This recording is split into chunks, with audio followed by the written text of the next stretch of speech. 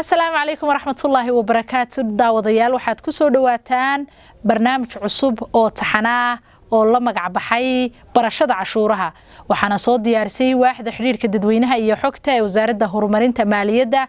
Waxaana loogu talagalay in dadweynaha jamhuuriyadda somalilan lagu baro noocyada kala duwan ee cashuuraha. Waa barnaamijkii shanaad.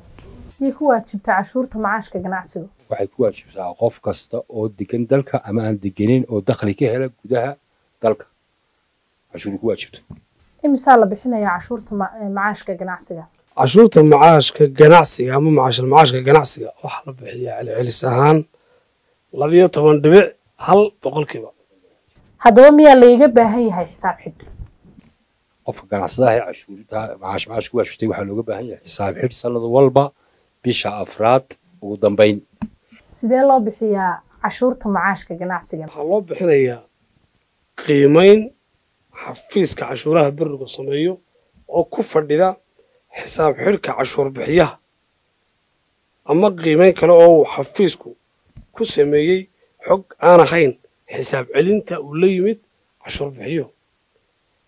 Ayaa loo qaabeeyaa si loo bixiyo cashuurta macaashal macaashka. Maxay yihiin? Maxamed ismaaciilow kharashka loo ogol yahay qofka. Kharashaadka loo geliy waxa weeye kharashaadkii uu ku soo saaray dakhliga uu ku xiray sanadkaa goormaa la bixiyaa cashuurta ganacsiga. Cashuurta macaashal macaashka ganacsiga waxaa la bixiyaa ama lagu bixiyaa sanad le waa labiyo tobanka biloodba hal mar. Xaggee lagu bixinayaa cashuurta macaashka ganacsiga? Waxaa lagu bixiyaa xafiiska cashuuraha beriga ee ugu dhow goobtiisa ganacsiga. Haddaba haddii aan la habsaamo maxaa dhacaya cashuurta macaashka ganacsiga? Ganaax. Maxay yihiin ganaaxyada cashuurta ganacsigu? Ganacsigu way fara badan yihiin.